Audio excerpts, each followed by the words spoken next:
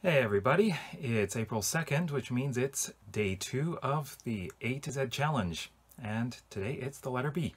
So throughout this month, I am doing the A to Z challenge, which of course is 26 videos, but I'm also doing Veda, vlog every day in April. Now that brings us to 30 videos, but today we're going to continue with the story, and this is the letter B, and it picks up right where the last part left off. So let's continue our adventure on Ariadne with B, and this is titled The Botanist. The location is Ariadne, the plains west of the Takahashi Mountains. 12th day, 3rd month, 1st year after colonization, Ariadne era. Malika Said gazed up at the tree. She stood an arm's length from the base in awe at the trunk. 1,168 meters tall and 107 meters wide. How can this be? The pressure must be immense. She knocked on the wood, her knuckles stinging. She massaged her hand, then ran her fingers along the trunk as she slowly walked next to it. Magnificent, she whispered. Doctor, said Sheila. It's incredible. You say you found this on a satellite image? Sheila nodded. It was very obvious. I had no idea it would be a single tree. I need a sample of the wood. She glanced around and found what she was looking for. Dragan? The dark-haired man stirred from his daydream. Yes, doctor? Can you get a sample of this wood? I'd like to analyze it back at the office. How much? Maybe a cubic meter block? I think you'll need the laser cutter. This is hard as rock. Dragan nodded. I'd love to get up top, Malika said as she let her eyes wander back to the canopy a kilometer above.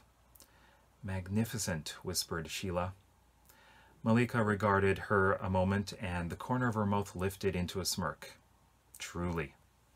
So we continue with the tree here, and uh, Sheila is back. She was the artist in part one.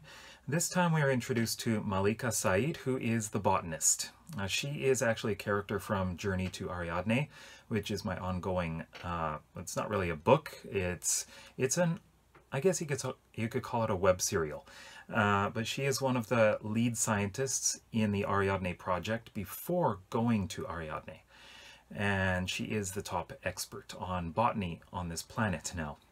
The other character, Dragan, he's minor. He's, he's not exactly a major player in this. Uh, he's not going to appear later on at all.